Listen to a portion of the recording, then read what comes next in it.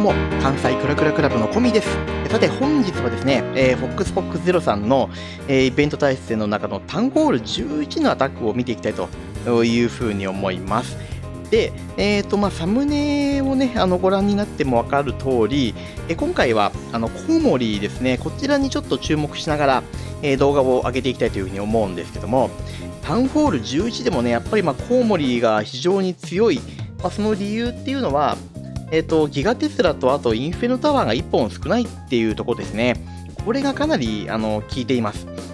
で、まず1本目、こちらコッタさんのね、アタックになるんですけども、えー、編成的にはバットスラップって呼ばれるやつですね。あのー、えー、っと、ヒーラーを、えネクロマンサー、大量のネクロマンサーにこうつけて、で、え中央に一気にね、ネクロを流し込みながら、えコウモリを外周ぐるっとえこう回していくっていうような戦術ですね。でうまいのはここです。このライドラものすごいあのいい仕事したの分かりましたかね？ちょっとね、まあ、この攻め後でもう一回おさらってみたいというふうに思うんですけども、えー、その時もう一回今のライドラのところお話ししますね。これが本当にねこのコッタさんのアタックのあの私一番の注目ポイントでした。でえーと、攻め方的にはあのー、シンプルでここからこうダーッとね、えーと、ネクロとヒーラーたちを流し込んでいきます。これ間違っても食い火にしないことが重要ですね。あの食い火のままいってしまうとネクロがやられちゃいますんで大量のネクロにこうヒーラーをスイッチさせるっていうことが非常に重要。で、えー、その後にコウモリをここからぐるっとこうね回していくっていうようなイメージの戦術になってます。ちょっと失礼しました。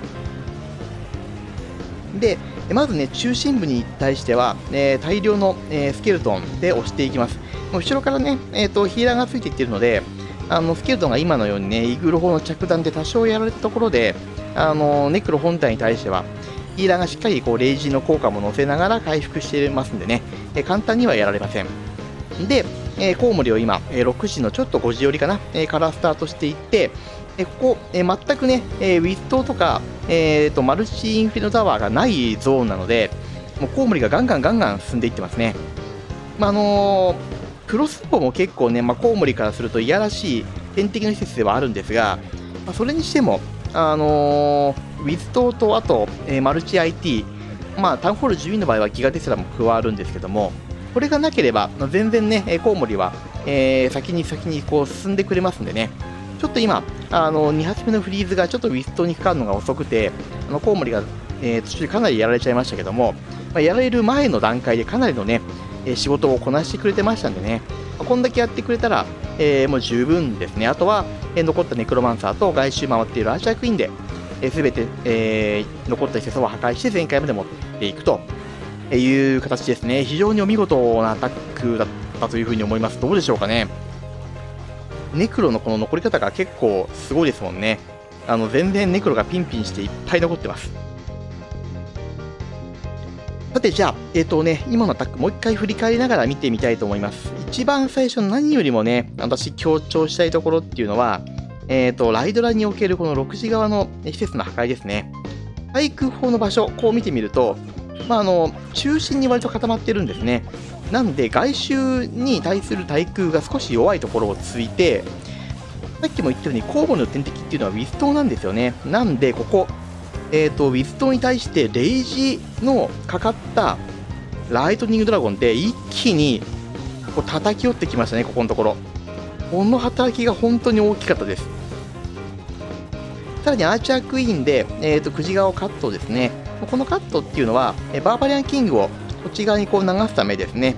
えっと、アーシャクイーンそのものはおそらくどっちに流れてもまあ良かったんじゃないかなって思います。中に入ったら入ったでいいし、外に流れたら、この壁の一層内側のこういうところとかね、ここら辺っていうのも全部こうクイーンが破壊していってくれるんで、まあ、どっちでも良かったと思いますね。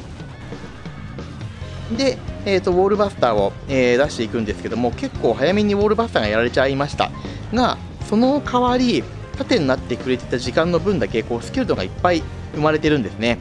で、このスケルトンたちが、ネクロの盾となって、レイジーに乗っかって、さらにペッカとも合流しながらガンガンガンガン、え推し進んでいきますね。ボールバスターの中に入ってるのはペッカーでしたが、まあ、これは私もアイゴルとペッカーっていう組み合わせが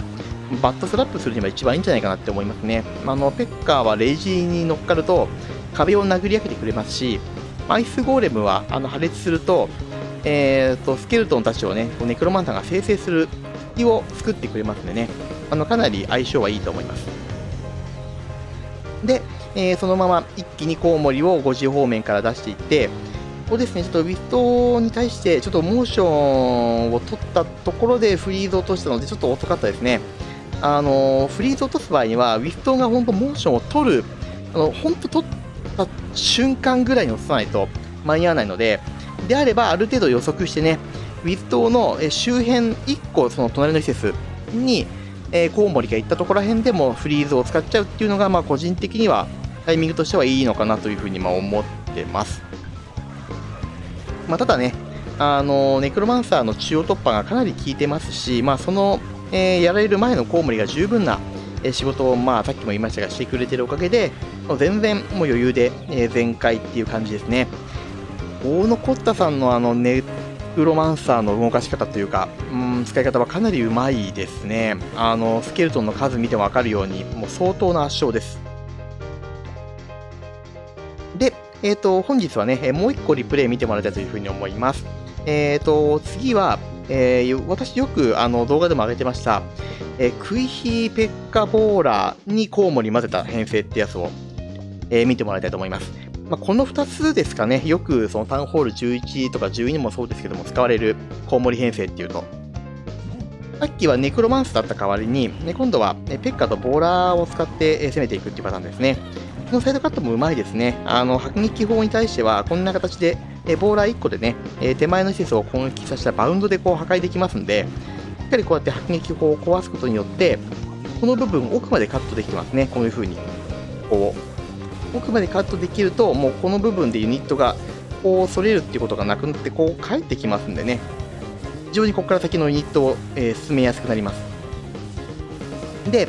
えー、この配置見てみると対空砲がかなり右上側に寄ってますね。なので、えー、ライトニングドラゴンによって、まあ、半分から左側っていうのがすごい削りやすくなってます、まあ、そこの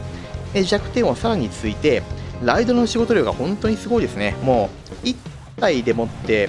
それぞれ10%強ぐらいの破壊を叩き出してます。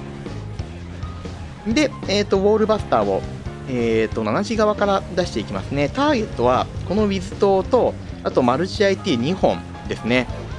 さらに、ここにユニットが入り込んだ瞬間に、よいしょ。これですね、クロスボウのターゲットが全部こう取れてくるんですね。わかりますかね？今、クロスボウがかなり動き始めましたよね。でこのクロスボウっていうのが、コウモリの天敵でもあるんですね。さすがに4つもクロスボウが並んでしまうと、まあ、それだけでだいぶコウモリが落とされちゃいますけども、えそうさせないように今あの中央にねえユニットが集まってますけどもこいつらがクロスボウのターゲットを取っていながらさらに壁殴り上げてクロスボウを壊してくれましたね。で、えアイスゴーレムで、えーと、今こちらのね、え4時方面のこのビストのターゲットを取りながら、えコウモリを進めていきます。このやり方もうまいですよね。あのフリーズの呪文を節約できるのでアイスゴーレム使うっていうのはすごい上等手段になってきます。で、そのまま、えコウモリは一気に、え12時方面まで駆け上がって、かなり今ここね、あのトルネートトルネートトラップでコウモリがやられたんですけども、あのそれでもこんだけのコウモリ残してますからね、これだけ。いかにこのコウモリ回しがうまかったか、この会長さんのアタックね、それを物語ってます。中心のユニットもピンピンしてますね。とこのタック、もう一回見てみましょうか。もう最後のクロークなんかはもう全然使う必要もなかったですけども、あのー、最後まで使い切ろうというまあ思いでしょうかね。いやー、素晴らしい、お見事なナイス展開ですね。ちょっともう一回見てみたいと思います。ポイントは、えーと、どこから、えー、陸部隊を入れるかってとこなんですけども、なるべくあの壊しておきたいのは、さっきも言ったように、えーと、マルチインフィルタワー、あとは、えー、このウィザードの塔ですね、まあ、それに加えて、えーと、このエアスイーパーも実はコウモリの結構天敵ですし、えクロスボウも、まあ、ちょっと,、えーと、マルチ IT とウィストに比べれば優先順位は下がりますけども、まあ、嫌っちゃ嫌ですね。そうすると、会長さんが見てたのはおそらくこの区画なんですね、ここ。これを壊しちゃいたいなと思ったと思うんですよ。これを壊すと今言った、えーと天敵系の施設が結構壊せるんで、あとぐるっとこう、コウモリ回しやすくなりますよね。あの、この残った外周で怖いのっていうのは、このウィストと、まあ、このウィストだけです。これをどう処理するか考えさえすれば、もうコウモリ回すルートは見えますんでね。こんなところを意識すると、まあ、このライドラもうまいなっていう話になりますね。あのかなり、えー、外周を削ってくれてるんで、もうユニットがそれる要素がほとんどないですね。オールバーサーにしっかり壁を開けさせて、中へ中へとこう入っていきます。後ろからまヒーラーがついているんで、ペッカーたちもあのかなり体力を回復させて延命してくれてますね。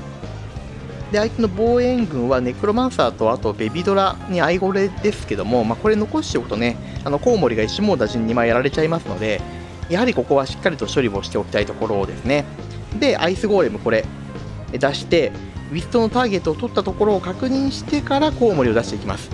で、このコウモリたちが、えーと、ウィストを壊してくれてる間にアイスゴーレムがさらにこの、えーと、アチャ島とねテスラのターゲットも取ってコウモリの延命に、えーと、一役買ってましたね。すごいうまいですねこれ。もうフリーズの呪文とか使いどころがないぐらいですねここまで来てしまうと。あとはガンガンガンガン、えー、中央からは、えー、ペッカボーラーにヒーロー。で、えー、外周に関してはコウモリで押していってそのまま全開と。いう格好になります。いや、お見事ですね。まあ、序盤のそのやっぱり、えーと、どこをね、リクパードで壊していこうかっていうプランの立て方がお見事だったのと、まあ、この戦術を使ったことがない方のために言うと、あのヒーラーとペッカ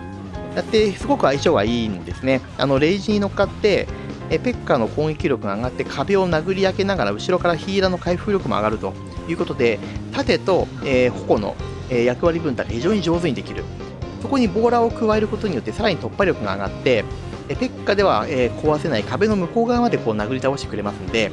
このね3体ペッカ、ボーラー、ヒーラーっていうユニット構成はすごいあの理にかなった強い、えー、トリオなんですね。でそうなってくると呪文をそんなに使わなくても済むんですよこのパートに。なんで、えレイジを2発先に抑えて残った6枠っていうのを、え6枠じゃないですね8枠か。を6つコウモリの2つフリーズ。これだけね、あのー、なんていうコウモリパートに呪文を避けるということになります。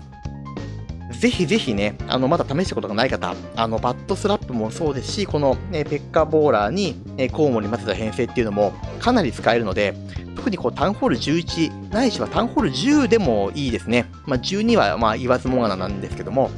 あの、使いどころの広い編成だと思いますんで、まあ、ぜひこれ参考にしてもらえて、えー、やってもらえたら嬉しいなというふうに思います。